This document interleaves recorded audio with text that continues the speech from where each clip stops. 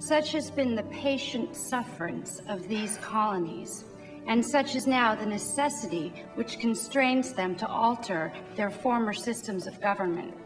The history of the present King of Great Britain is a history of repeated injuries and usurpations, all having in direct object the establishment of an absolute tyranny over these states. To prove this, let facts be submitted to a candid world.